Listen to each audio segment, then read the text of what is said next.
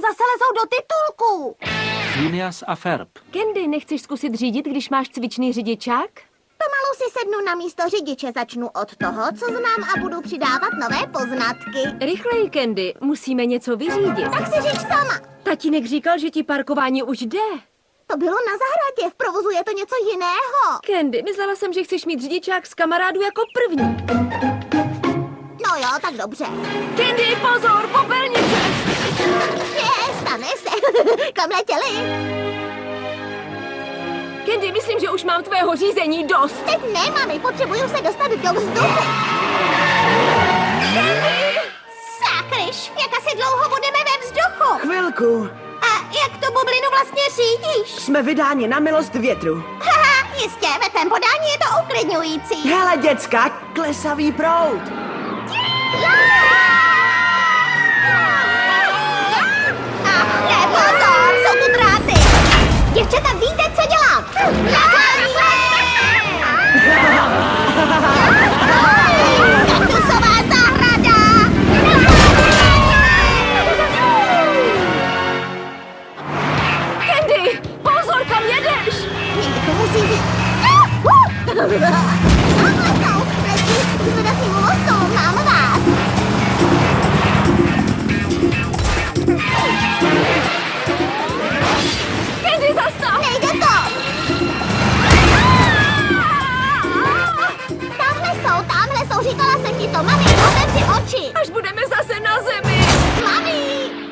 To řídila naše Candy.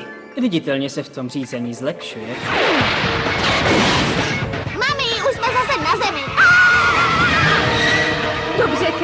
A teď lehce přišlápni brzdu. Snažím se!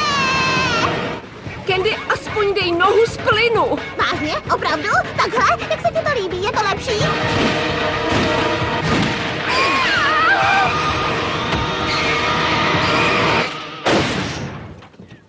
Bože, vidím, že otec měl pravdu. Parkování už si zvládla. Podívej, tamhle jsou. Candy, nic nevidím. Kdo kde je? Kluci, letí ve vzduchu. Chlapci. Ahoj, mami, dobře parkuješ, Candy. Cože? Ne, to přece byli tam... Uh... Tak, Ferbe, myslím, že dnešní den jsme využili naplno. A, ah, tady si, Perry.